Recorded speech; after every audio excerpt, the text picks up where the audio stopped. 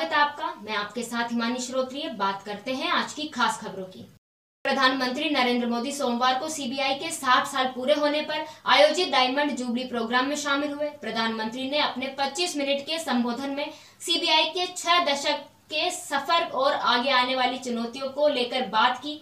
उन्होंने सीबीआई से कहा कि आपको कहीं पर भी रुकने की ज़रूरत नहीं है। मैं जानता हूँ, आप जिनके खिलाफ एक्शन ले रहे हैं, वे बेहद ताकतवर लोग हैं। प्रधानमंत्री ने कार्यक्रम में पोस्टल स्टाम्प और डायमंड जुबली मार्क वाला सिक्का लॉन्च किया। इसके साथ ही शिलोंग, पुणे और नागपुर में सीबीआई के ब्रांच ऑफ़िस के नए बिल्डिंग का उद्घाटन भी किया। लोकसभा से सदस्यता रद्द होने के 11 दिन बाद राहुल गांधी सोमवार को सूरत कोर्ट के लिए रवाना हुए।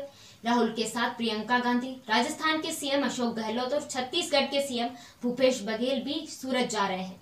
सूरत कोर्ट के बाहर कांग्रेस का प्रदर्शन है। कांग्रेस ने सड़कों पर पोस्टर और बैनर लगाए हैं। इसमें डरो मत, सत्यमेव जयते और लोकतंत्र बचाओ जैसे नारे लिखे हुए हैं।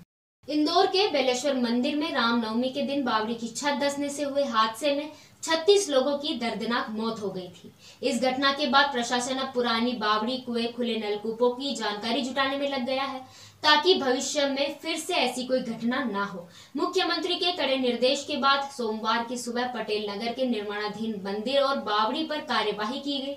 जिसमें भारी पुलिस बल के साथ पहुँची नगर निगम की टीम ने निर्माणाधीन मंदिर के हिस्से को तोड़ने के साथ पुराने मंदिरों से मूर्तियों की शिफ्टिंग कर दी है। इसी साल होने वाले विधानसभा चुनाव के चलते मध्य प्रदेश का सियासी माहौल हिंदुत्व के एजेंडे पर चलता हुआ दिखाई दे रहा है। भोपाल में कांग्रेस कार्यालय भगवा में दिखाई दिया।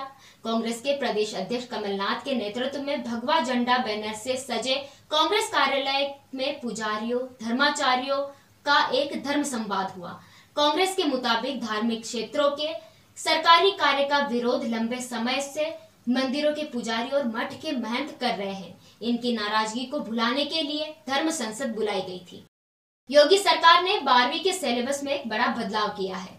यूपी के छात्र अब मुगलों का इतिहास नहीं पढ़ेंगे। यूपी में बारहवीं में पढ़ाई जाने वाली इतिहास की किताब में मुगलों का चैप्टर हटा दिया है। इसके अलावा ग्यारहवीं में इतिहास की किताब से भी इस्लाम का उदय संस्कृतियों में टकराव और औद्योगिक क्रांति के पाठ हटा दिए गए हैं। ये बदलाव अप्रैल से शुरू हुए, सेशन से लागू किया जाएगा। इसके साथ ही नागरिक शास्त्र की किताब से अमेरिकी वर्चस्व और शीत युद्ध का पाठ भी हटा दिया गया है।